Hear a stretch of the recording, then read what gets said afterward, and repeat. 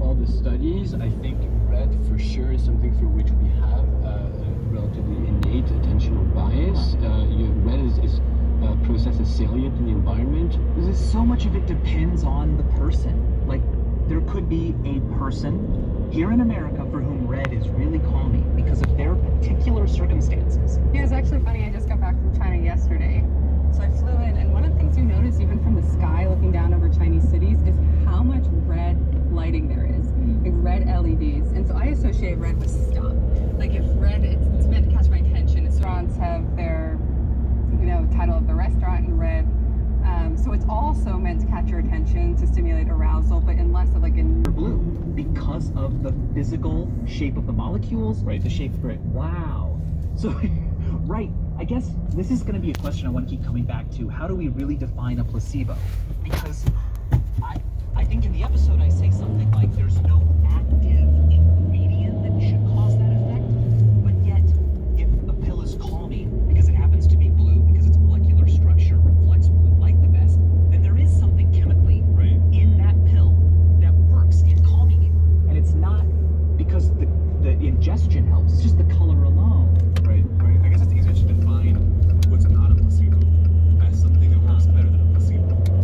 Well, that's why another term for placebo effects are non-specific effects or non-specific factors. So whatever factors involved are for all these different psychosocial, symbolic, ritual factors that we don't fully understand, but that we know Called non-specific. non-specific. The specific ones, how are they defined? produces that effect. But then we know that there are other effects around and beyond that that also contribute to healing. And in the case of a, an actual placebo procedure where we know that specific molecule is not actually present in the pill, but healing will still happen, then we need to investigate these different effects, these Right. different factors Okay, so that are in- non-specific. maybe this works. A great medicine would be what works even when it's administered to someone. Found, for example, in non-verbal autistic children who for sure cannot understand the nature of the suggestion. Because, of course, if you have some kind of an idea about uh, a, a therapeutic target and mechanism of action, so I have a headache and this one pill relieves a headache, then that will greatly help in the placebo effect. But what about the communications, the sort of contagious hope that might work, and the same, me- uh, same mechanism, same social mechanism might be involved in dogs and will work better than a capsule because it seems more serious and potent. There's even evidence that fake or sham surgeries have positive effects. It may be fake medicine, but the effects can be real. And not just because the patient feels better psychologically.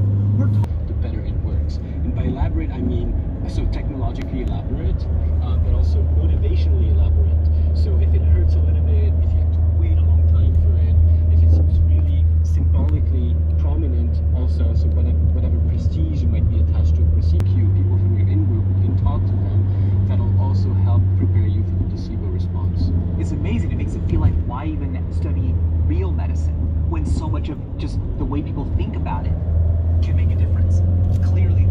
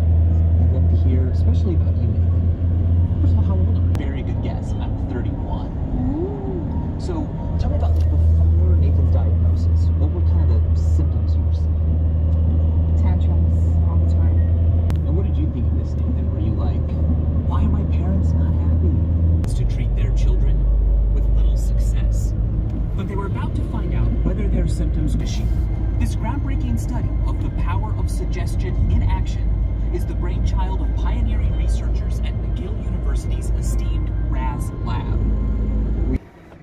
Anytime the mind is regulating the body or, or vice versa, that's a topic that we study. Now, you said the word placebo, and the device that we are using is a sham scanner. Tell me about the scanner. What we do with the MRI scanner is we